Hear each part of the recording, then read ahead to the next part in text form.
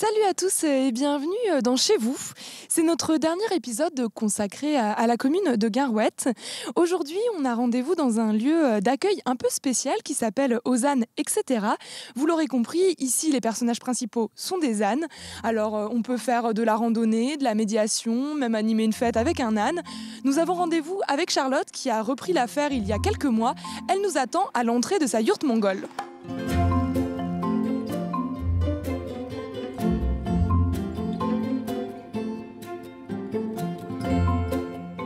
Bonjour Charlotte. Bonjour. Nous sommes aux ZAN, etc. C'est une activité que vous avez repris il y a juste trois mois, c'est ça? C'est ça, je suis arrivée au 1er novembre ici, ouais. Mm. Alors qu'est-ce qui vous a amené ici? Alors, euh, si j'essaie de résumer le parcours en très peu de temps, euh, j'ai été journaliste pendant dix ans. J'ai bifurqué en fait vers l'agriculture il y a quelques années. Et du coup, il y a trois ans, je suis partie avec mon âne. J'avais acheté un âne pour partir jusqu'en Ardèche, en fait, à pied, avec mon âne et mon chien. et, euh, et, du coup, voilà, ça, ça, ça a été un peu un tournant dans ma vie. Donc euh, c'est de là que je suis partie vers l'agriculture avec toujours en tête euh, cette histoire d'âne. J'avais pas mal d'amis qui avaient des ânes. Enfin voilà, j'étais toujours un peu là-dedans. Et puis j'avais gardé mon âne corrigan. Et puis, euh, bah, en fait, ça s'est présenté il y a quelques mois, une grosse opportunité. Un copain qui m'a dit, bah voilà, il y a, y a quelqu'un qui vend son activité à Garouette. Euh, J'avais pas trop prévu de faire ça. Et puis, bon, en fait, euh, j'ai un peu foncé. Et puis, en quelques mois, ça s'est goupillé, quoi. Et du coup, nous, on se trouve devant une yourte. Pourquoi une yourte ici? Euh, parce qu'en fait, l'activité que j'ai repris, donc euh, Arnaud qui avait cette activité pendant une bonne dizaine d'années, lui, c'est quelqu'un qui a toujours été dans cet environnement yourte, il y vivait, il en avait, euh, il recevait les gens là-bas. Et en fait, voilà, moi, j'ai repris l'activité vraiment telle qu'elle existait, c'est-à-dire avec les mêmes bâtiments, le même troupeau, les, mêmes choses en fait. Donc, bah, il se trouve qu'Arnaud avait monté cette petite yourte mongole dans, sous, ce, sous ce garage en fait. Donc, quand on arrive aux ânes, etc., on commence par la yourte et ensuite on va voir les ânes. C'est ça. C'est ce qu'on va faire.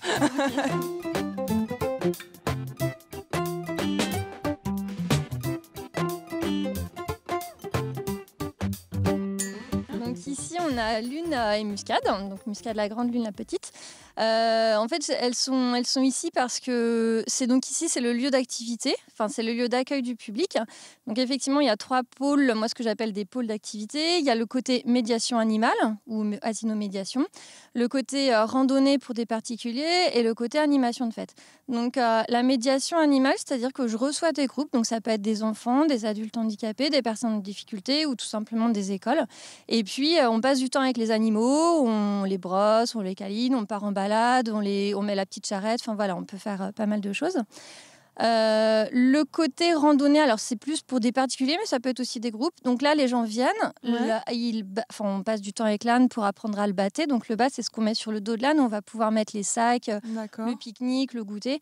Donc là, les gens partent une, de une heure à plusieurs jours sur des On peut partir en randonnée plusieurs jours. On peut partir trois jours, une semaine, donc sur des circuits autour, autour d'ici, autour de Garouette. Et puis après, il y a le côté animation de fête, donc ça peut être euh, fête d'école, fête de Noël, ou, euh, ou euh, moi, je, vu que je suis assez tournée vers l'agriculture, fête agricole aussi, enfin voilà. Donc ça, c'est un petit peu les trois, les trois pôles sur lesquels je travaille.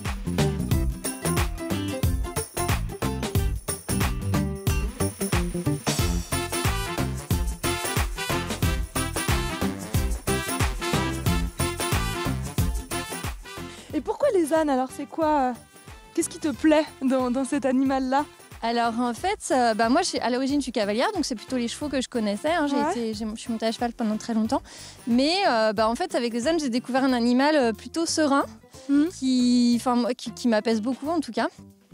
Et puis en même temps qui n'a pas du tout le même caractère que le cheval, c'est-à-dire c'est pas des animaux qui sont peureux à la base, mmh. donc ils vont être plutôt, ils vont être plutôt curieux. Et euh, c'est aussi pour ça qu'ils ont cette réputation d'être têtus, c'est-à-dire que souvent un âne, il se bloque, il, se bloque sur quelque chose.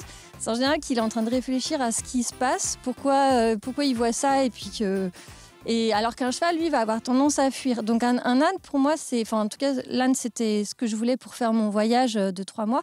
Et c'était plutôt rassurant parce que je me voyais pas faire ça avec un animal mmh. qui, qui, aurait eu peur. ou et, ça a des bienfaits les ânes, puisque vous faites de la médiation bah, En fait, c'est ça. C'est alors ils sont, alors ils sont calmes. Euh, bon, c'est pas non plus. Euh, les gens, ils sont souvent étonnés quand ils partent en rando. Les ânes, ils, vont quand même assez vite, en fait.